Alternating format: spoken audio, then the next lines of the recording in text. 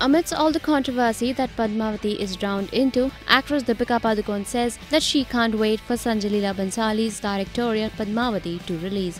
During the media interaction, the actress said, प्यार हम सबको मिल रहा है और चाहे वो पोस्टर्स के लिए हो या ट्रेलर के लिए हो या गानों के लिए हो I think we're all very, very excited. I think we're very, very overwhelmed by the response.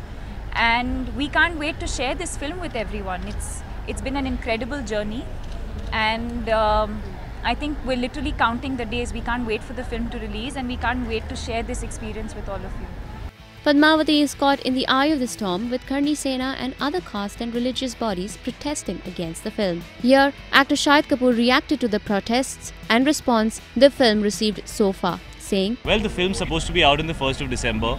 Uh, हम बहुत proud हैं इस film के साथ. The whole team is very very proud. Um, I think it is a very it's going to be a very special cinematic experience.